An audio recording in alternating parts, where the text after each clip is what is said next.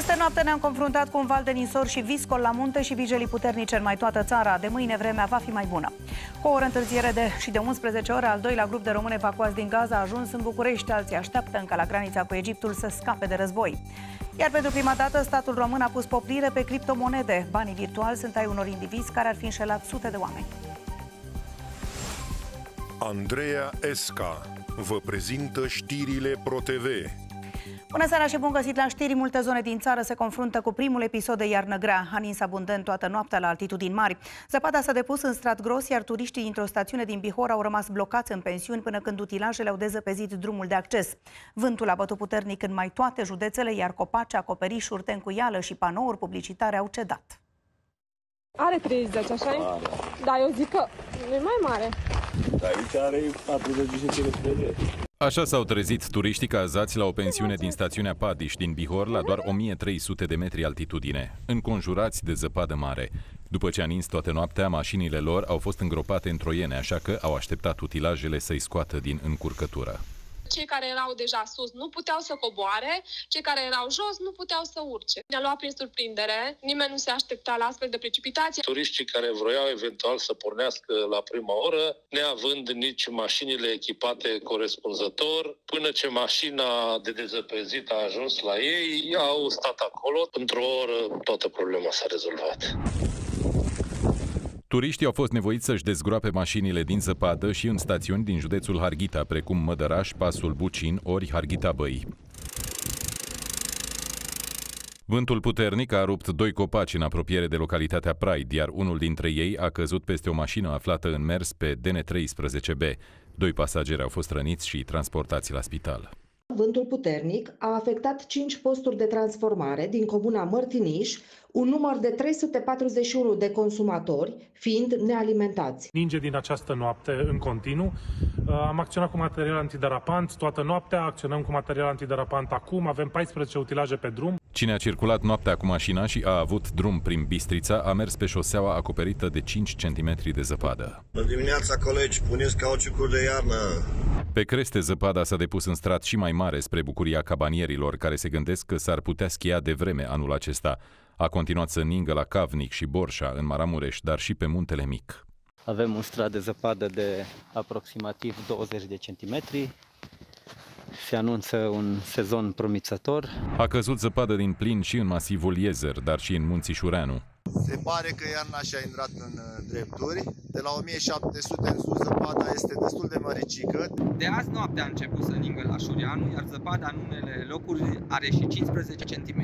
Chiar și la mai puțin de 1000 de metri altitudine, peisajul e unul de iarnă, în sălaj, în munții Meseș. Iar la Șes, vântul puternic a creat probleme. În orașul Făgăraș, județul Brașov, rafalele au desprins acoperișul unui bloc care a căzut peste două mașini parcate și le-a avariat. În Constanța, mai mulți copaci au fost smulși din pământ. Costine, asta e mașina ta? Bine că n-a pățit nimic. În București, vântul a suflat în rafale de până la 60 de km pe oră, iar până la ora prânzului, pompierii au intervenit în cel puțin 30 de situații de urgență. Una dintre ele fiind chiar pe bulevardul Magheru, unde acest panou a fost smuls de rafalele de vânt. Și tencuiala de pe o clădire din strada Toamnei a fost luată de vânt și a zvârlită peste o mașină parcată. Coșmarul războiului din Gaza s-a încheiat pentru alți 41 de români cu dublă cetățenie, dintre care aproape jumătate sunt copii. Ei s-au întors dimineața în țară cu aeronavă militară care a aterizat la baza 90 din Otopeni. Ar fi trebuit să ajungă încă de ieri în România, dar au rămas blocați în Cairo. Avionul militar Hercules C-130 trimis după ei s-a defectat înainte de decolare. Aeronava C-130 Hercules, care i-a adus în București pe cei 41 de români evacuați din Gaza, a aterizat în baza 90 din Otopeni la ora 4 dimineața. Zborul a avut o întârziere de câteva ore pentru că aeronava s-a defectat înainte să decoleze de la Cairo, iar Ministerul Apărării a trimis din România un alt avion cu piese de schimb. Pasagerii au povestit cu durere ororile prin care au trecut încercând să fugă din calea războiului. Greu. Nu aș dori această experiență la nimeni. Am emigrat din casă în casă, am fugit efectiv din loc în altul, că e dezastru peste tot. Haine n-am avut, o singură geantă care am putut să luăm cu noi a fost foarte greu. Lumină, n-a fost lumină săptămâni întregi, apă săptămâni întregi, erau bombardamente și puteam să murim în orice clipă. Printre cei aflați la bord au fost și 18 copii, unul de numai 2 ani. La sosire au fost așteptați cu ajutoare. Sunt copii dezbrăcați, sunt copii desculți, nu au haine, au fugit practic doar cu ceea ce au pe ei, mulți dintre ei fără bagaje. De aceea ne-am mobilizat cu ajutorul oamenilor să fim în această seară pentru a doua oară aici. După controlul de securitate și cel medical, refugiații au fost preluați de autocare și duși la cazare. Între timp, punctul de trecere Rafah a fost deschis din nou și sunt șanse mari să iasă din fâșia Gaza un al treilea grup de români care așteaptă la granița cu Egiptul. Vor continua procedurile de evacuare pentru cetățenii statelor care primiseră la data de 10 noiembrie permisiunea autorităților izraeliene și egiptene să tranziteze punctul Rafah către Republica Arabă Egipt.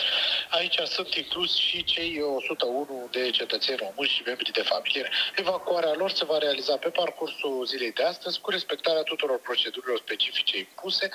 Până acum, 134 de români cu dublă cetățenie și familiile acestora au fost evacuați din fâșia Gaza. Iar israelienii din București și susținătorii acestora s-au reunit într-un meeting organizat în centrul capitalei. Printre ei s-a aflat și ambasadorul Israelului la București. Protestatarii au condamnat din nou răpirea de către Hamas a celor 260 de oameni în urmă cu o lună. Printre ostatii se numără și 38 de copii. În semn de solidaritate cu cei luați noaptea din casă de către teroriști, manifestanții au întins pe jos încălțăminte de copii și jucării de pluș legate la ochi cu panglici negre. La final, oamenii au înălțat baloane în memoria victimelor războiului. Este al treilea meeting de acest acest tip organizat în București din 7 octombrie încoace. Iar în Israel, premierul Netanyahu este hotărât să nu cedeze presiunilor internaționale și a declarat că nu ia în calcul niciun armistițiu înainte de eliberarea ostaticilor. Discutăm pe larg situația în câteva momente. Pe lângă case, mașini și alte bunuri de lux, statul român a pus poprire și pe 22 de milioane de criptomonede ca urmare a unei acțiuni de ICOT. Banii virtuali valorează în acest moment doar 300 de mii de euro și aparțin unor indivizi acuzați că au înșelat sute de oameni. Le spuneau că vor obține sume fabuloase dacă tranzacționează pe piața cripto. Ar fi obținut astfel 4,7 milioane de dolari. Statul român deține acum și 22 de milioane de criptomonede Human's Heart, după ce procurorii de ICOT Ploiești au pus poprire pe ele. Monedele virtuale au aparținut unor indivizi acuzați că au înșelat peste 240 de firme și persoane fizice după ce le convingeau să investească sume importante în criptomonede, cu promisiunea unor câștiguri fabuloase. În total, 13 indivizi sunt cercetați în acest dosar. Liderul grupării a creat impresia că este un om de afaceri de succes. În realitate, el a mai fost implicat într-un dosar penal și în 2016. Atunci s-a dat drept broker pe piața de capital și ar fi înșelat cel puțin 19 persoane. Prejudiciul total a fost atunci estimat la un milion de euro. Acum, ca să fie mai convingător, a creat un site fals unde fiecare client vedea cum evoluează investiția sa. În fapt, criptomonedele transferate de părțile vătămate ar fi fost convertite de membrii grupului infracțional organizat în dolari, mare parte din aceste sume fiind fie cheltuite în interes personal, fie utilizate pentru efectuarea, pe sistem piramidal, a unor plăți parțiale către clienți, clienți mai vechi. Criptomonedele sequestrate de stat valorează în acest moment 300.000 de euro. După cum monedele electronice sunt extrem de volatile, valoarea lor poate să crească sau să scadă de la o zi la alta. Pe acest grafic se vede foarte bine cât de nesigură este criptomoneda pe care statul român o are în portofelul electronic. În ianuarie a înregistrat un vârf, apoi peste vară valoarea a scăzut dramatic, iar acum este din nou pe un trend ascendent.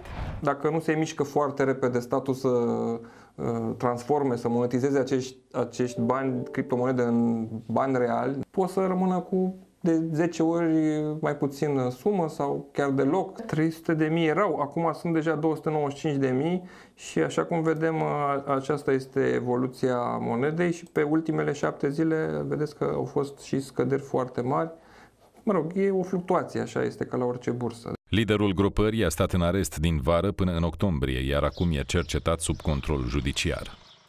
Nelipsiți în mod normal din bucătărie, morcovii românești sunt pe cale de dispariție. În schimb, îi cumpărăm pe cei din Turcia ori Polonia, pentru care dăm anual peste 22 de milioane de euro. S-a ajuns aici deoarece la noi a scăzut dramatic suprafața cultivată. Fermierii se plâng că nu au subvenții, un program de susținere și nici sisteme de irigații.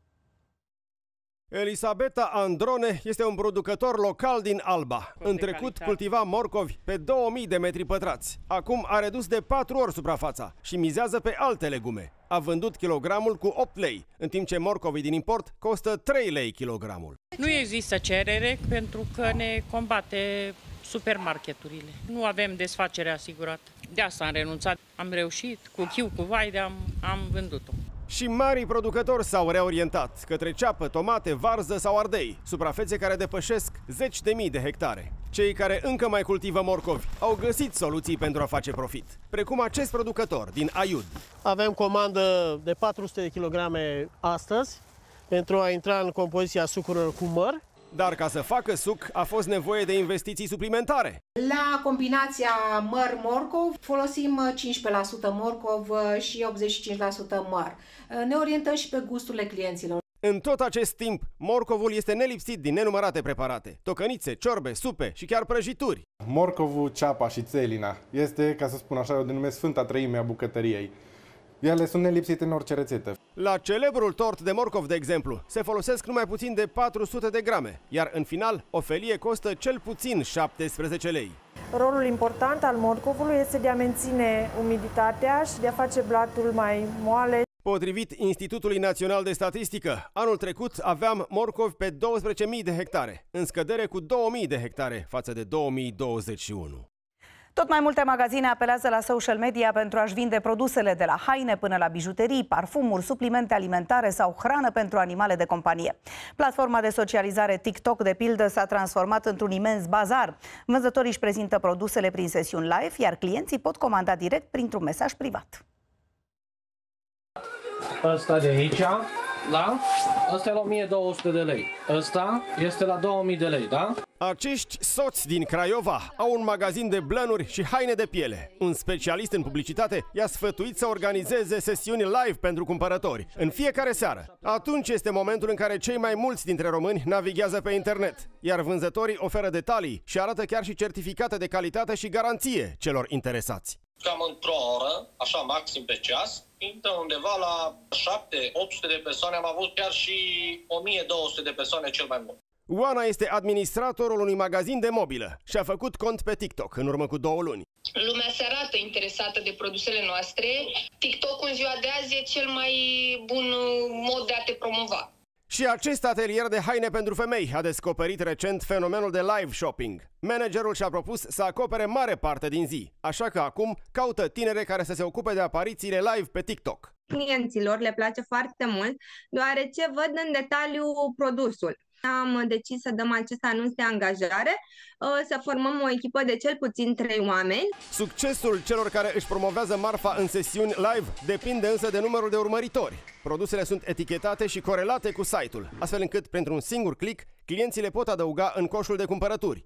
Trebuie însă să fie atenți. Aici trebuie să fim foarte atenți la preț și condițiile de garanție. Când faci transmisii live la produse, trebuie să ai o cameră bună, trebuie să știi să te miști, să știi să prezinți. La nivel global, conceptul de live shopping funcționează de mai mulți ani. A devenit un fenomen, iar clienții probează produsele chiar din confortul casei. În primul rând, cei care urmăresc sesiunea pot interacționa cu cel care face live shopping-ul prin comentarii și pot spune ce ce interesează, inclusiv îi pot cere, puneți produsul pe tine. Potrivit cele mai mari platforme de comerț electronic de la noi din țară, sectorul e-commerce românesc a atins pragul de 6,3 miliarde de euro la finalul anului 2022. Companiile multinaționale care în trecut își trimiteau angajații cu avionul în străinătate la traininguri sau ședințe au redus considerabil aceste călătorii. Totodată la noi în țară ajung tot mai puțini turiști de business care de obicei cheltuiau mai mult decât vizitatorii obișnuiți. Companiile au luat această măsură pentru a reduce costurile, dar și pentru a scădea emisiile de carbon. Această companie din Timișoara, care realizează aplicații IT pentru industria farmaceutică din Belgia, și-a redus considerabil călătoriile de serviciu cu avionul. Trainingurile se țin acum online, iar angajații merg în deplasări numai atunci când colegilor din străinătate au nevoie de ajutor tehnic. Ne îndreptăm și spre o categorie mai verde. Companiile pun preț pe uh, a măsura amprenta de carbon și a nu polua. Noi targetăm exact evenimentele care sunt critice. De altfel, un studiu Deloitte arată că 4 din 10 companii europene vor să își reducă numărul de călătorii în următorii ani din motive de sustenabilitate. În plus, multe companii vor să reducă din cheltuieli. O companie germană cu un sediu la Timișoara mai organizează deplasări doar când angajații au întâlniri cu clienții. Am redus în scopul optimizării. Suntem într-o perioadă mai, uh, mai dificilă la nivel uh, mondial, că trimitem uh, colegii și colegele în deplasări doar atunci când avem uh, relații care includ și clienții sau furnizorii, nu doar pentru a avea o ședință în comun cu colegii din alte locații ca să ne vedem și față în față. Pe de altă parte, turismul de business era înainte de pandemie o bună sursă de venit pentru orașe precum Timișoara, Cluj-Napoca sau București. Există tot mai multe companii care merg în această direcție, încearcă să arate că le pasă de ce se întâmplă cu mediul, de ce se întâmplă în viața noastră de zi cu zi, motiv pentru care unii au aderat la mișcarea Shame to Fly, fie rușine să zbori, în mod deosebit pe zborurile mai apropiate. În Timișoara, Business Travel-ul înainte de 2019 a însemnat cu siguranță mai mult de 50%. Aveau întâlniri de business uh, la prânz aici sau cine, se făceau uh, tot felul de cine cu, cu angajații, ele mai sunt și azi, dar parcă nu la volumul de, de atunci. Specialiștii susțin că un astfel de turist cheltuia peste 1000 de euro într-o călătorie, mai ales că totul era de contat de companie. După patru ani în Parlamentul European, mulți dintre cei care ne reprezintă țara la Bruxelles și-au trecut în declarațiile de avere și locuințe cumpărate în străinătate. Unii dintre europarlamentari le consideră investiții, pentru că ratele pe care le plătesc pentru cumpărarea lor sunt la jumătate din suma pe care ar fi dat-o pentru chirie. Unul dintre aleșii europeni, de exemplu, a făcut un împrumut pentru o vilă cu piscină în insulele Canare, pe care o închiriază.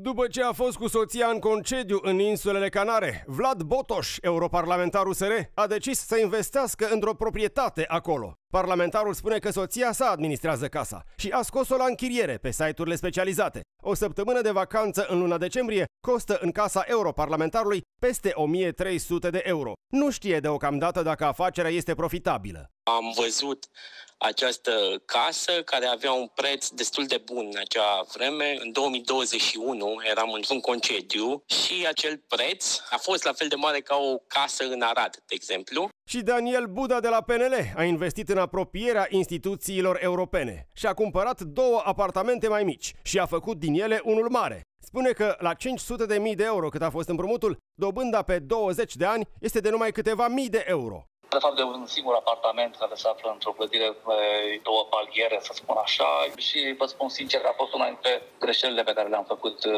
în viață. Apartamentele au înghițit foarte mulți bani uh, pentru a fi uh, renovate.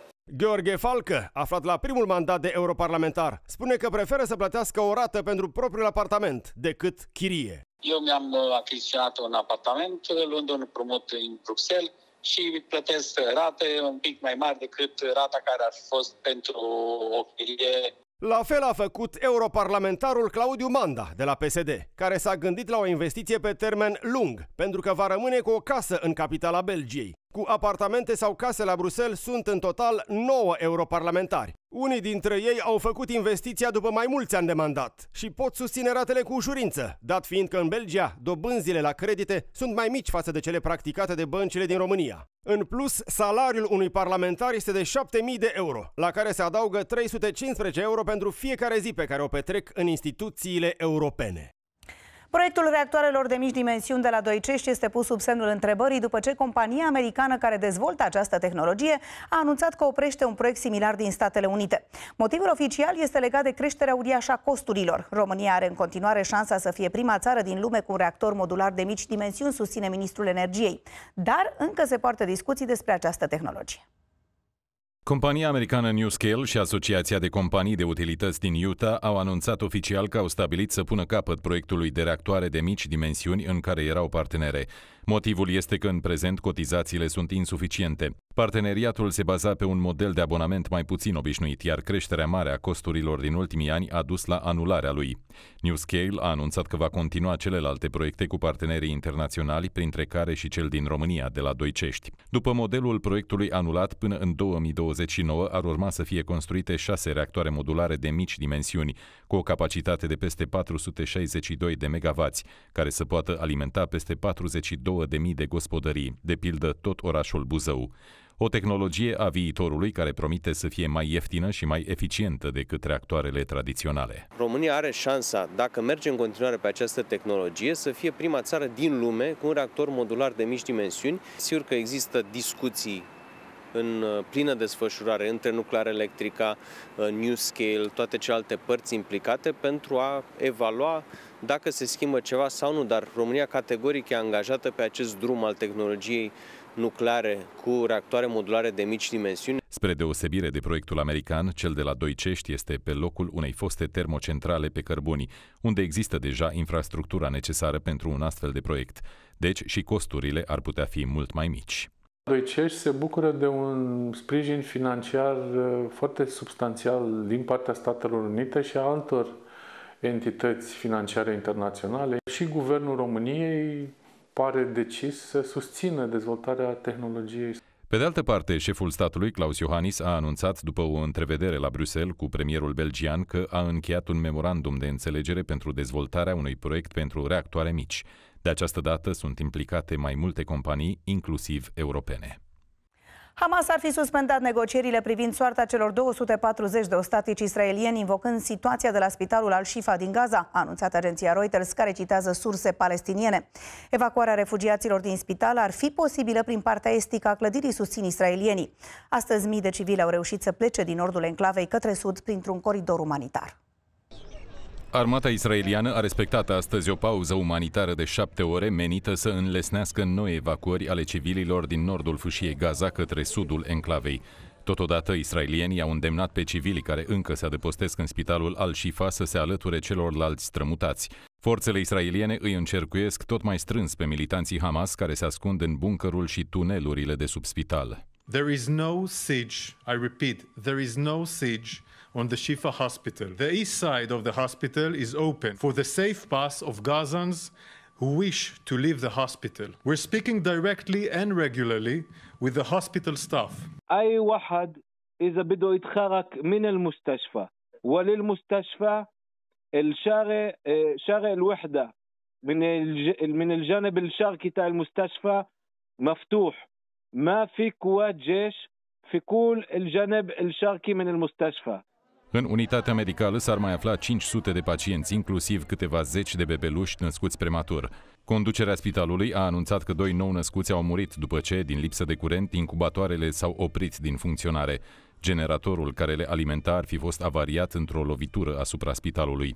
Pauze umanitare, da, armistițiu general, în niciun caz, a repetat premierul Netanyahu. הנחיה שלי ושל הקבינט היא ברורה. לא תהיה הפסקת אש בלי החזרת חטופינו. שום לחץ בינלאומי, שום מתכות שקריות בחיילי צה"ל ובמדינתנו לא ישנו את האמונה שלנו בצדקת דרכנו ובזכותנו ובחובתנו להגן על עצמנו. הטבח של השבעה באוקטובר הוכיח סופית שבכל מקום שאין שליטה ביטחונית ישראלית, הטרור חוזר, הוא מתבסס, בסופו של דבר הוא מכה בנו. Netanyahu i-a îndemnat pe liderii occidentali să nu cedeze presiuni exercitate de o parte a populației prin proteste de stradă și i-a dat replica președintelui francez care denunțase în ajun bombardarea civililor din Gaza. אתה שואל אותי בעניין הזה? הוא טעה טעות קשה.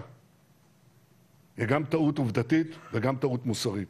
מי שמונע את ההתפנות של האזרחים זה לא ישראל, זה חמאס. Ministrul israelian al apărării a respins la rândul lui presiunile care încep să se facă simțite din partea capitalelor occidentale. 1,500 חיילים, אזרחים, נשים וילדים נחטפו או נהרגו בקרבות. זה קרה רק לפני חודש. אני רוצה להגיד לאותם מנהיגים אירופאים שמעבירים עלינו ביקורת. מדינת ישראל ועם ישראל בשנת 2023 איננו נמצא בשנת 1943. יש לנו את היכולת ואת החובה להגן על עצמנו בכוחות עצמנו, וזה מה שאנחנו נעשה. Societatea israeliană este puternic dezbinată în privința războiului din Gaza. Mii de oameni au ieșit din nou în stradă, în Tel Aviv și în alte orașe, ca să ceară guvernului să facă o prioritate absolută din salvarea celor 240 de ostatici.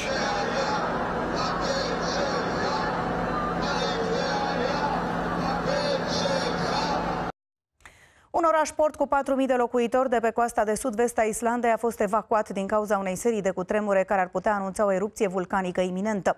Activitatea seismică intensă, adică 24.000 de cutremure în decurs de două săptămâni, a determinat Autoritatea de Protecție Civilă din Islanda să decreteze stare de urgență în orașul cu pricina.